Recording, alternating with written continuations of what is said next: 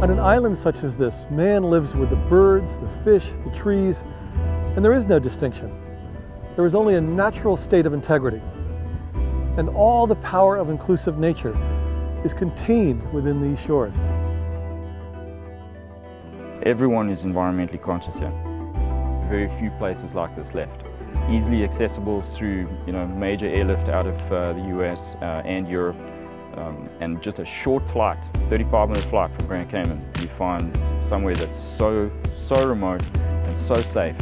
Um, you know, to, li to live on an island like this that, where people don't lock their houses and you know, the keys are left in the car, it's just a very unique experience.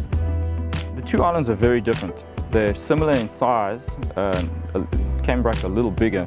Uh, Cayman Brac has, obviously has this really big, beautiful bluff, big, tall, 150 foot bluff on the east end. Um, it's a little more um, rugged, let's say.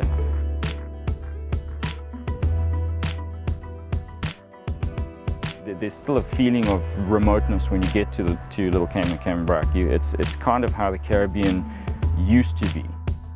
Well, we have uh, the largest breeding colony of red-footed booby birds in the Western Hemisphere. Aside from that, we have uh, a large, healthy population of uh, little Cayman rock iguana, thanks in, in much to a heavy conservation effort on this island.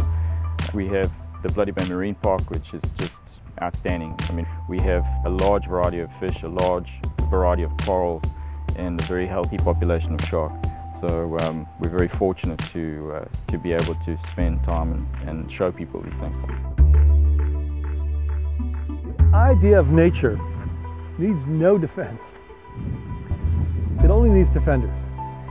And when you come here, you'll join the good campaign.